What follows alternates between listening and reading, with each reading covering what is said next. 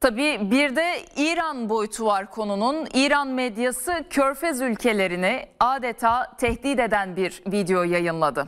O videoda Amerikan uçaklarını durdurun yoksa Körfez yanacak ifadelerine yer verildi. Bölgeden İran'a herhangi bir saldırı gerçekleştirilmesi halinde Amerika ya da İsrail tarafından ülkelerindeki e, alanı kullanmalarına izin vermelerine engel olacak bir gözdağıydı.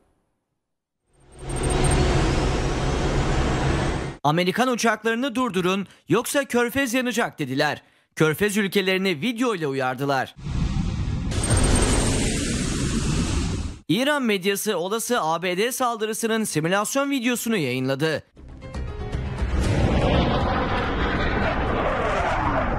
Videoda Körfez ülkelerine mesaj verildi. İsrail ve ABD uçakları eğer İran'a saldırırsa Körfez'in yanacağı belirtildi. Videoda havalanan uçaklara Fettah füzeleriyle karşılık verileceğini, bu karşılığın sonucunda da Körfez ülkelerinin tamamının yanacağı belirtiliyor. İran'da geniş yankı uyandıran video kısa sürede Körfez ülkelerinde de paylaşıldı.